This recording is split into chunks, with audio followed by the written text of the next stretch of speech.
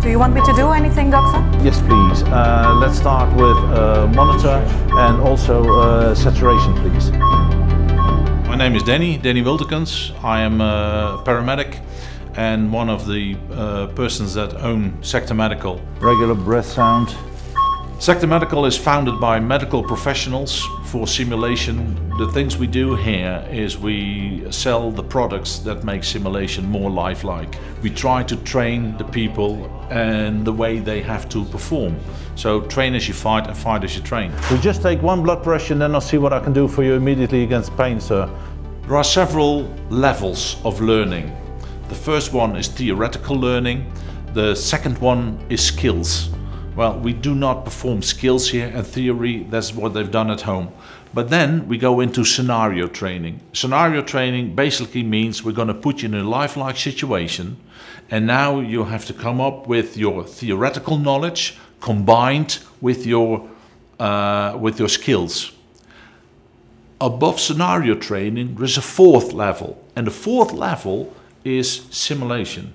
And simulation means that you have to interact with all the other people. So if we put a little bit of pressure on the situation because we make the patient deteriorate rapidly, or we bring in some very specific complications, or we do something like bringing in the wrong medication on purpose, they will have to interact with the entire team. Do they see each other's faults? For instance, a nurse should say to the doctor, Doctor, I think now you're making a mistake. And that's one of the things, this is absolutely perfect environment to, uh, to do so, because we can also show it later on at what time it went wrong and what the interactions were. And people learn a lot from that. Okay, we're now entering the room. You see here there's a, a, room and uh, we only see the walls and now uh, we can start up a scene and on this moment we are really in an operating room and with the computer we can make some other scenes, for example in the central station of Rotterdam. In the immersive room we can project a, a scene with 217 degrees, so it looks like you're really in the scene.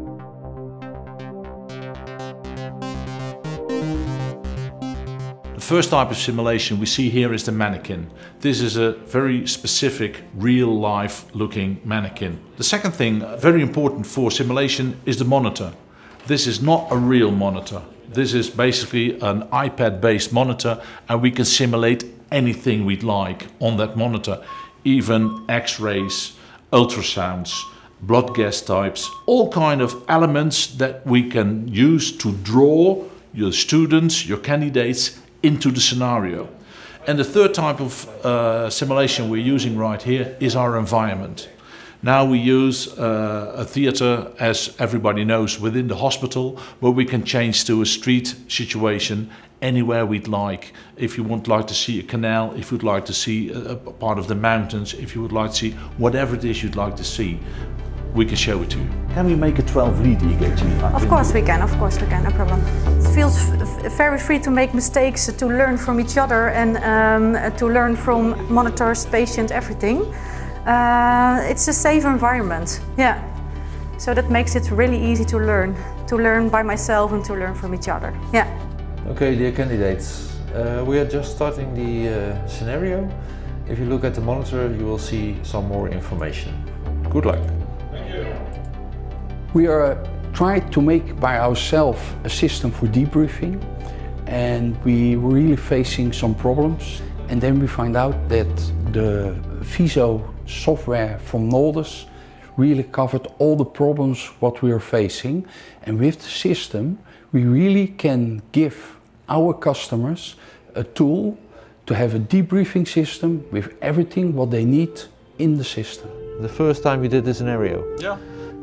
How did it feel? It's a dedicated debrief program, which means that if we set everybody together around the television screen, everybody's uh, taking a look on their own performance, but it's also filmed from different angles.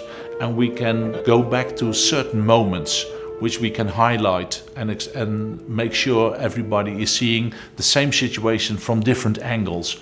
And that's, that's absolutely something uh, very uh, worthwhile because then you can see your own performance and we ask the people to interact themselves on their own performance. And I think that's absolutely uh, magnificent. Now we have the blood pressure 140 over 95. So I think we can, I'll hold this one for you.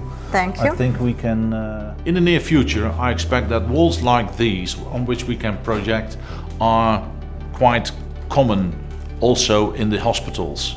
Not only for patients' rooms, but also in operating theaters, simply to influence the environment.